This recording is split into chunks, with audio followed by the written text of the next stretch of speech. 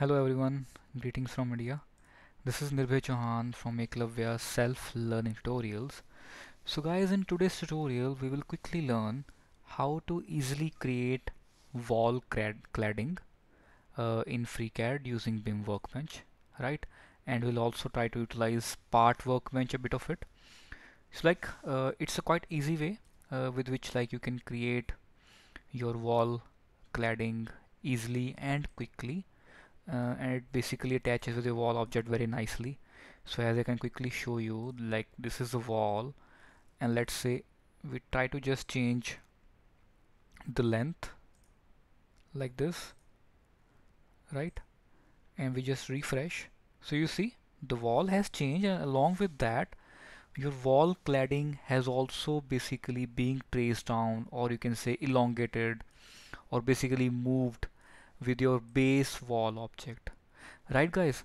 So let's quickly learn. Like it's a very simple approach. So we'll start by creating a new file. And let's make sure we are inside the BIM workbench. Okay. So now let's let us just quickly try to create a wall.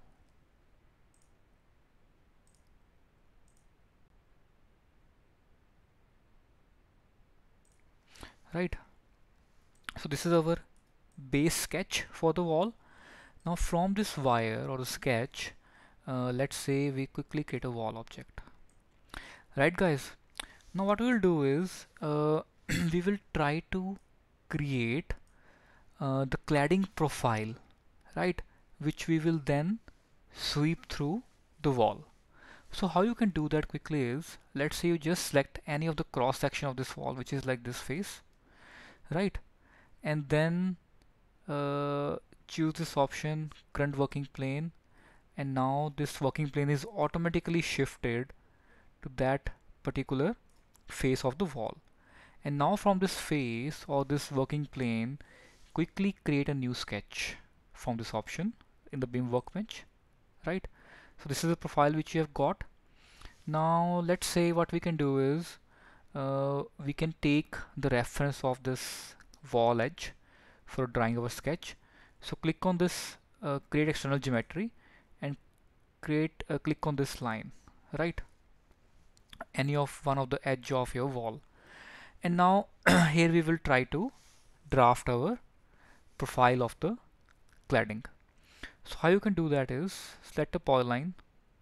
Firstly we will create the base uh, sketch of the profile and now we'll make some extrusions. So let's say something around this. Uh, let's give this dimension around let's say 4 inches. Right? And now from here let's draw something like this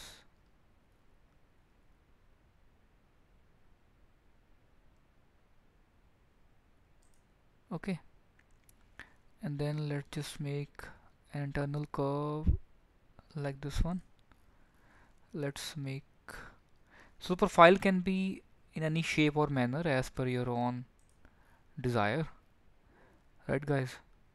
If in case you have any appropriate dimensions feel free to use.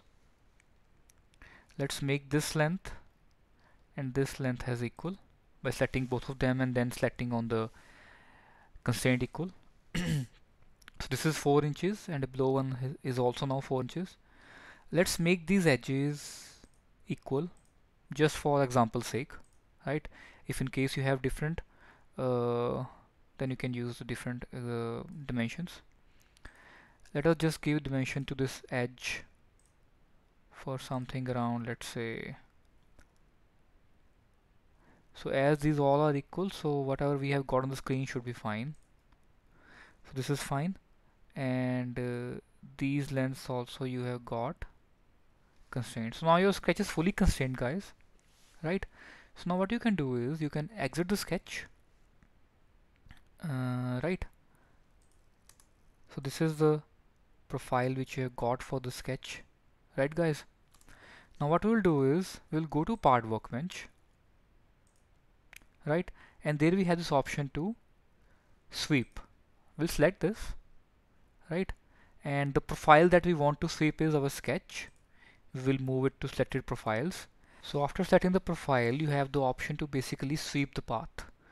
So click on this option and then simply by hit uh, holding control key select all the edges of the wall. Right guys? And then click on done and click on create solid because we want this cladding to be solid uh, make sure Frenet option is also set so that your file extrusion or the sweep is not distorted. Now simply click on OK. Right? So now basically you have got the profile uh, for your cladding object. Uh, right? Uh, if we click on the sweep you can say the spine is basically the wall edges. Right? Uh, I'll just show you one thing quickly. We go to BIM workbench. Let's make sure the top view is selected. Right. And now from this top view let's try to basically change uh, the wire orientation let's say something like this. Click close. We hit refresh right? So you can see uh, your cladding is basically moving with your wall object. So let's make it change again. Something like this. Click refresh. Okay now what you can do is to the sweep object. You can make structure anything like that. Simply click on this wall object. So that this cladding is also like should start to behave right? Uh, as a wall object only. Now what you can do is we can give uh, individual colors. Let's switch to perspective view. We can give individual colors to the faces of this cladding right? So what you can do for that is click on this wall object right click on it and then you have option of set appearance per face. Select this option. Uh, select the faces. Uh, let's say these top faces. Let's say we want to give the color of plaster right? The middle faces let's say we want to give the color of stone. You can set custom colors also.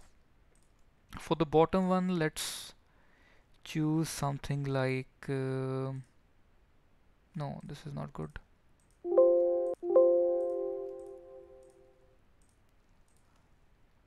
Let's give you some better color basically. Right. This should be fine for now. So this is how like you can give the colors to your section profiles also. Let me just switch to no shading right? In case you want to give color to the cross section also you can choose to choose it from here right? You can also choose a top profile. So let's just choose option again set appearance per face. Let's use this section. Hit control hold control key and let's choose this one also right? And then we have the section on the other side also basically this one.